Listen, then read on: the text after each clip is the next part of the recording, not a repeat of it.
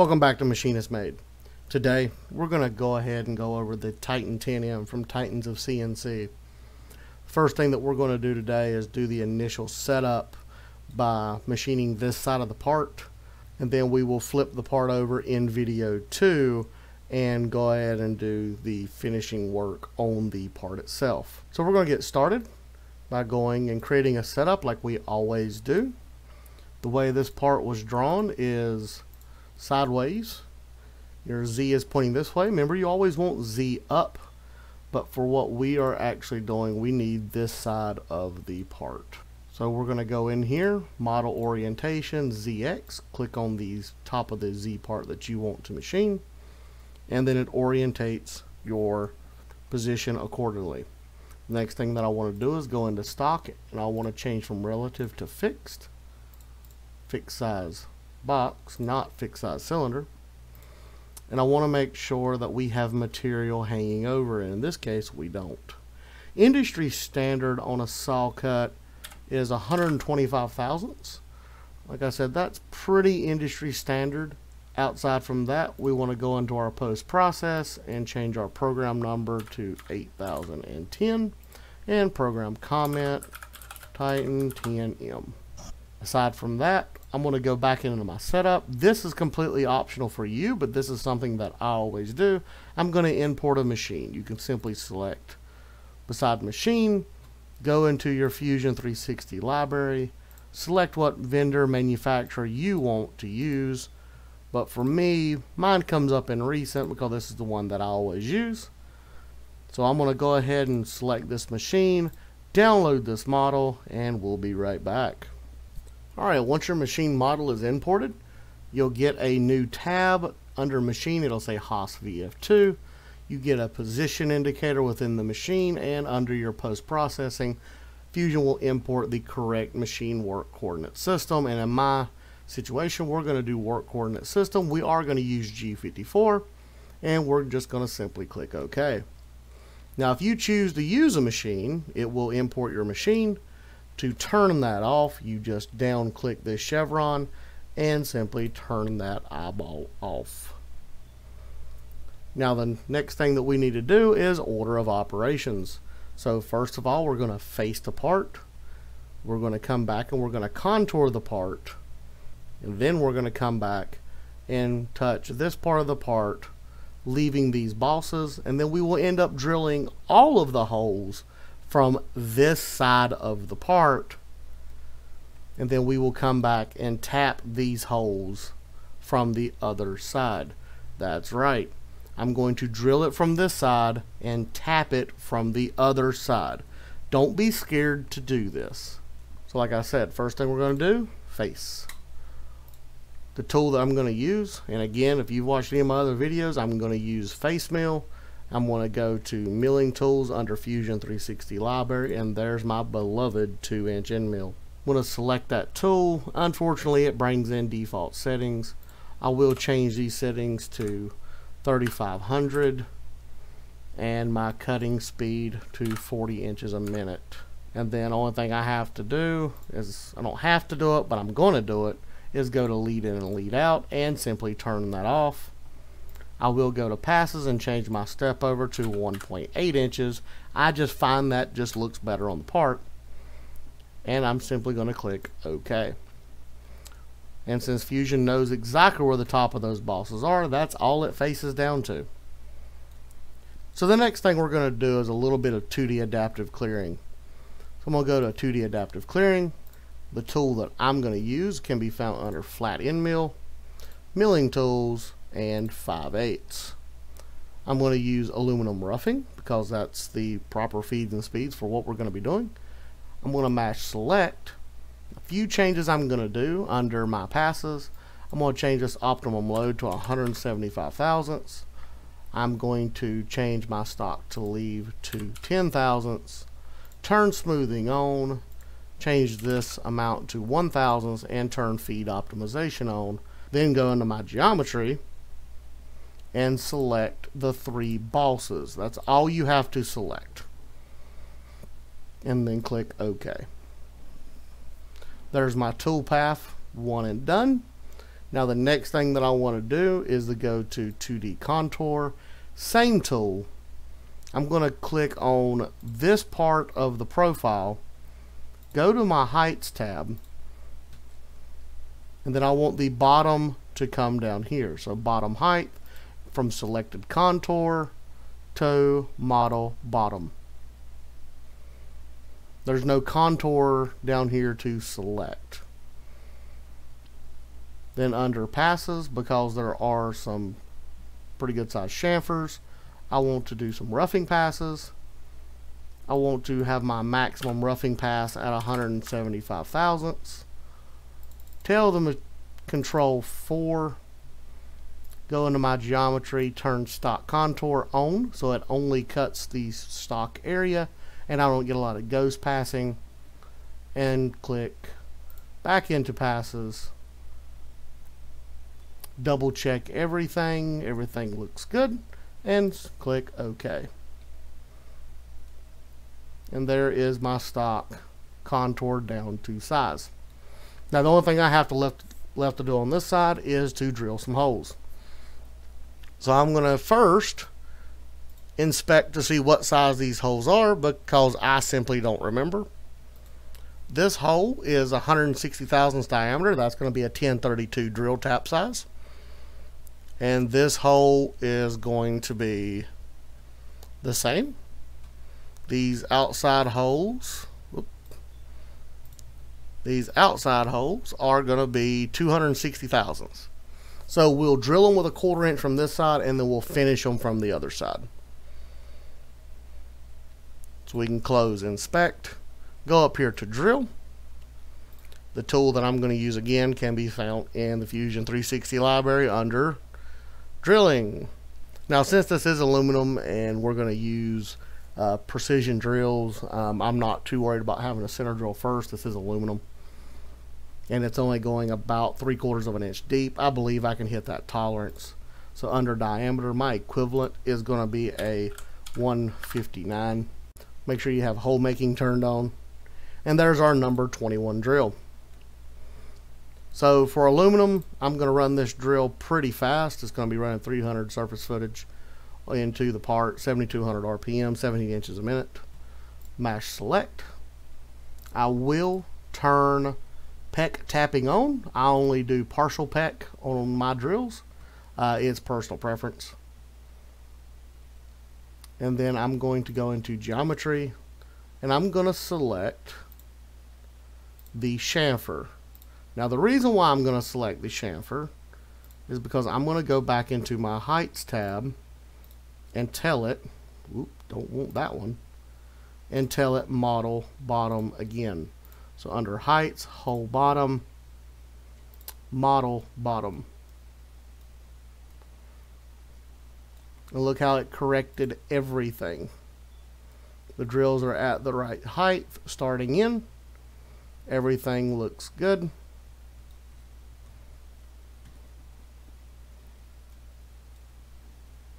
and then I'm simply just going to click OK. Everything's got proper clearance. Looks like it's going to do just fine. So I'm going to go back into drilling. The drill that I want this time, again, can be found under drill, diameter equivalent to 250. Enter. Make sure we have holes selected and there's my letter E drill or quarter inch again aluminum drilling select that drill go to my geometry and select these four holes and again I want to make sure I'm going into my heights tab and going model bottom then I'm going to go into my cycle tab and I'm going to change that also to chip breaking. Aluminum is gummy and it loves to stick to end mills, drills, or any other tool that you can stickly stab into it. So you want to make sure you're either doing a partial peck, a full peck, flood coolant. Unless you're running carbide, you don't technically want to peck carbide. Um, it can cause a worse problem if a shaving falls into the bottom of the hole and the drill quote unquote deadheads for a second, that can cause a major issue. But I'm just going to click OK. And there's those four holes. Now, I know you're probably thinking this part doesn't look finished, and it's not. I still got some chamfers to cut. But when we rotate this part over and we cut this cap off, or hat is what it's known in the industry as, all them holes will be revealed and we will be ready to go. One small change that I do want to do and double check is go back to my first drilling operation and make sure I'm going all the way through. I'm going through the model, but I really need to go through the stock. And then I want to drill through that and add another 50 thousandths. Because I'm going to use this center hole to set my G54 on the other side of my part. The other holes honestly don't matter. So when I roll my part over, I will use this hole right here and a coaxial indicator to pick this location up and all of the features will line up correctly. But the last thing that I'm going to do on this particular part is cut all the chamfers. So under 2D contour, the tool I'm going to use is engraving chamfer mill go into milling tools and right here this half inch 45 degree select that tool and go to the bottom of my chamfers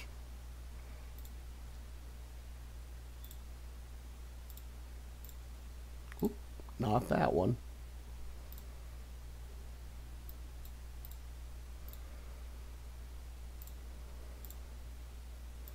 it shouldn't cut. I don't know why it's showing it.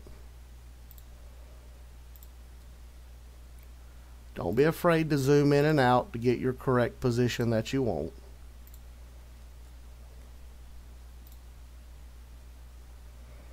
Alright, so I didn't do the little ones. I know why. Lead in and lead out's turned on. This can be a, a kind of a pain if you're using a bigger tool. Just turn that off and you'll be able to reach what you need. I need to chamfer the outside of these bosses.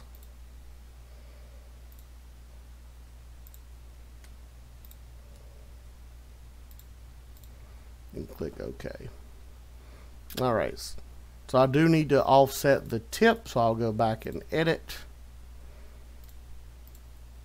Go into my passes tab, chamfer tip offset, and I'll offset this 50 thousandths and the reason why I'm going so small is this feature right here. It gets incredibly close. But you're probably thinking, but wait, what about all these chamfers? Good point. Let's get those while we're here. This tool is designed to pierce into material at the tip. So you can come in here and back chamfer ahead of time and there would be nothing wrong with it. And if you don't want to spend another operation, have a third operation to relocate the part, you will do this.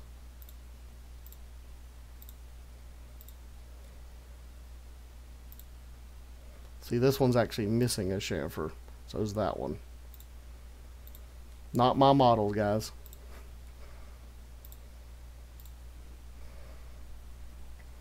see that tool is piercing that material and coming in and chamfering everything. So I'm actually going to go into the model. If you have this model that I do, I'll show you how to fix this. Go into design, go into modify,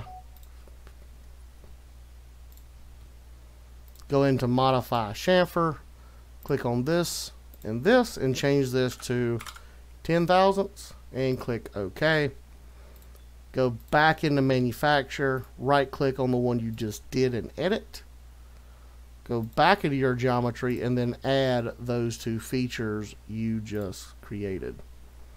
And then you'll see everything kind of turned orange. If you'll right click on setup and click generate, it should be regenerate, not just generate. It will go ahead and regen all of your processes that you have done. So in the end, when you go to simulate this part, it's coming in and it's going to contour, adaptive clear to everything. Now these red marks right here are the chamfering tool that's coming in and piercing the material, it's not expecting material to be there. That's why it's giving you a red alarm flash. We'll slow this down when it gets there and you'll see what I'm talking about.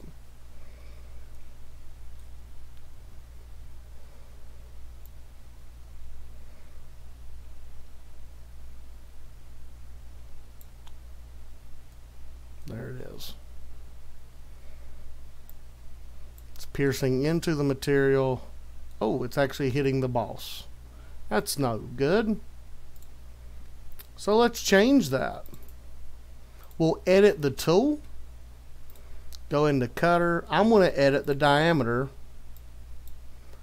to 250 thousandths. I have a 250 thousandths diameter tool. So I can just change this to suit what I need. Let's see if that clears. Regenerate that process.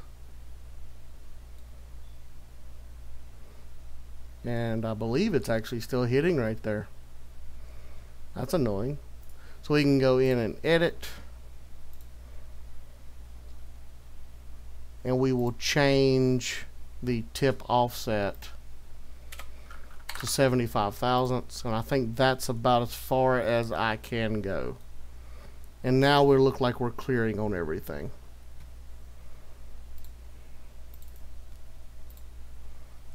See guys I'm not perfect either.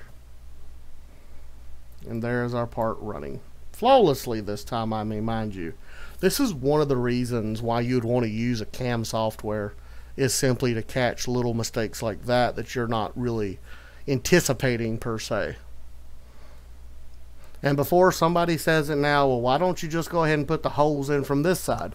You very well can. There's nothing that would be stopping you from doing the ISO grid from this side of the part. Nothing at all. Uh, the reason why I don't is because I want my ISO grid to be dead perfect in relationship to this contour. That's the only reason why I'm doing it from the second side and not from this side. If I wasn't too worried about that, I wouldn't worry about it at all. But that's going to conclude it for part one of this video. If you got any questions, comments, concerns, feel free to leave them down in the comment section. I'll be happy to respond to them. But like always, make sure you like and subscribe, and I hope to see you back here.